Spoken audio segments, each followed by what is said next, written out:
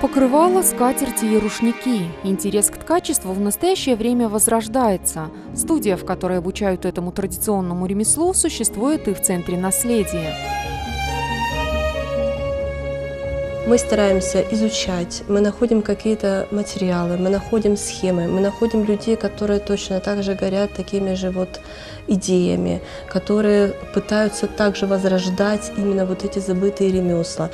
И хочется, чтобы именно качество, оно имело жизнь, потому что это все-таки живое, это непосредственно связано с нашими предками, это непосредственно связано с нашей культурой, с нашими традициями. Хочется это возрождать.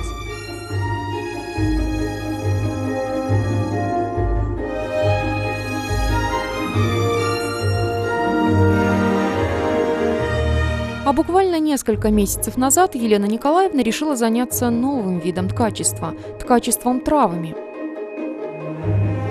Это ткачество является одним из самых таких, наверное, увлекательных и интересных, поскольку мы работаем с живыми травами. Мы используем, например, там ту же самую полынь, щебрец, э, ромашки обыкновенные, зверобой, тысячелистник, одолень трава и многие-многие другие. То есть мы заготавливаем эти травы, э, ездим на луга, поля, э, выбираем это все и потом вот слегка подсушиваем или подвяливаем, чтобы трава была не совсем уже мокрая, и тогда уже работаем.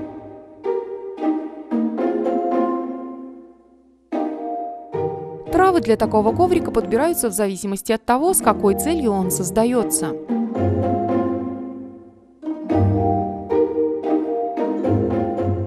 Если вы хотите повесить в спальню такой успокаивающий коврик, можно использовать тоже лаванду, полынь, например, и мяту. И некоторые вспомогательные травы, которые не обладают особым резким каким-то запахом, чтобы не перебывать другие, потому что перенасыщение эфирных масел тоже не очень полезно будет. Спальне травяной коврик может помочь справиться с бессонницей, а на кухне, например, возбудить аппетит и помочь пищеварению. Все это благодаря ароматам целебных трав. Но такие коврики принято использовать не только для ароматерапии, но и в качестве оберега. Вот конкретно сейчас в нашем коврике мы используем такие травы, как папоротник, опять-таки он является символом бессмертия, мы будем добавлять, добавили его. Мы будем добавлять наш обыкновенный пырей, который с давних времен назывался одолень трава. Одолень трава – это та, которая от всяких болезней, от всяких недугов, от глазов, обыкновенные бархатцы, обыкновенную тую, а также лаванду, суховейки, полынь и пижму.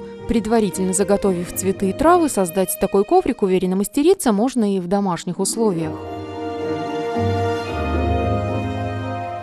Для того, чтобы сделать вот такую конструкцию, много как бы времени не нужно, но для этого нужно обычное бердо, которое используется именно в станках. Его также можно приобрести, опять-таки везде, либо под заказ э, у ремесленников, либо купить э, в интернет-магазине, либо в магазине для рукоделия и обыкновенная льняная нить, ну, естественно, две обыкновенные планки, которые, в принципе, э, можно тоже сделать в домашних условиях. Ну, как вы видите, у нас тут приспособлен стол. Можно это делать в домашних условиях, например, где-то на веранде, на балконе, на даче.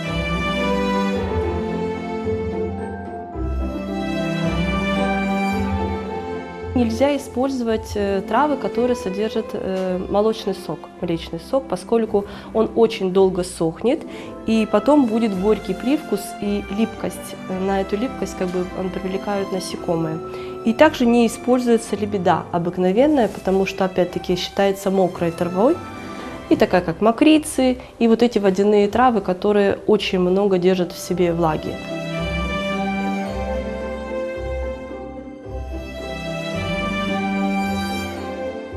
Присоединиться к изготовлению коврика из трав решила и я. Все оказалось действительно не так уж и сложно.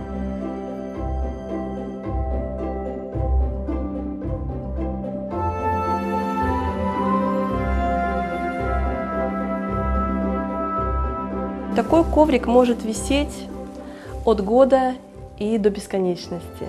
Э, недавно вот мы разговаривали с одной ткачихой, и она сказала, что у нее такой коврик уже висит более 15 лет. Этот коврик, он не теряет свои целебные свойства. Периодически его можно сбрызгивать водой. Они прекрасно себя чувствуют в, влажных помещениях и прекрасно чувствуют себя в ванных комнатах и банях. Об этом видит качество Елена Николаевна узнала случайно, но сейчас с радостью научится создавать такие коврики не только взрослых, но и детей. Очень много забыто ремесел, очень много забыто традиций, и хочется это возрождать и нести то есть, э, следующим поколениям. И чтобы наши дети были более развиты, более приближенные к природе, более чувствительные к матушке Земле и чтобы они смогли дальше передать наши традиции. Если частичка как бы моих знаний и знаний, те, которые я нашла, э, как бы поможет э, для будущих поколений, почему бы это не использовать, правда?